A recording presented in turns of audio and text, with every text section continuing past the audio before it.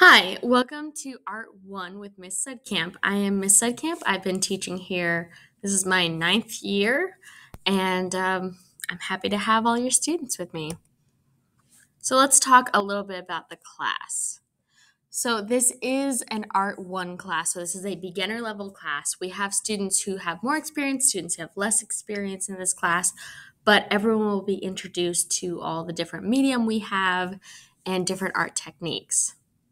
So let's talk about some of the projects we have in class. So we have some sketchbook assignments and larger projects. Now, the projects in this class, students will be learning about art techniques, art history, and learning about art artists from around the world.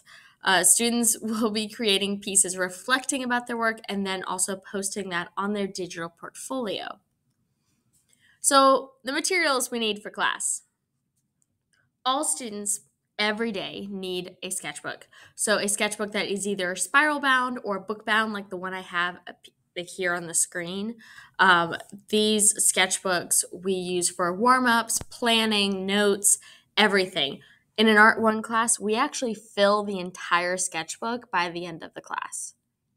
They also will need a set of brushes that are good for watercolor and acrylic paint. So, something similar to what I have on the screen now. These are some, you know, we have some round brushes, some flat brushes. Um, they usually are labeled if they're good for watercolor and acrylic. Uh, we'll have that. And an optional canvas for our painting unit. I would highly suggest it. Uh, it is 11 by 14. Um, a good size. 16 by 20 is a little big. What we have, what I have up there. Um, another good size is a 9 by 12. So that would be absolutely wonderful. So, how I grade. Um, so, projects are worth 50%. Sketchbook assignments or smaller assignments in general are worth 30%. And their reflection or digital portfolio, so it's a website they will build, is worth 20% of their grade.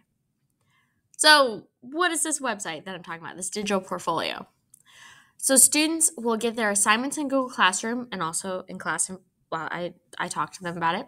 They will create the artwork over the course of the week photograph their work, including uh, photographing like they're in progress.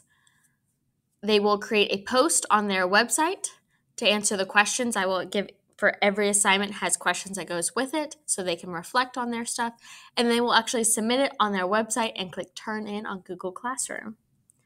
So Google Classroom is where I'm going to be posting everything at this time if if students have were absent one day, they and they need to come back. You know, the next day they don't know what they missed. They have access to everything that we have went we went through, any warm ups that we've done. Um, they should have everything posted.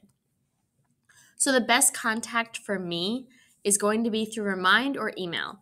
So if you want to join my Remind for period one, Art One is at Art One Sud One. Um, you can join and message me on there. And the email is ksudcamp at wcpss.net. Uh, and if you happen to have any of these things and you can send them in, that'd be wonderful. We always go through band aids, you know, for a number of things. If, if anyone needs something, we need band aids, cleaning wipes, smocks, aprons. I will always accept paintbrushes because we go through them like crazy. And command hooks would also be wonderful. Thank you so much. If you have any questions, feel free to email me or message me on Remind.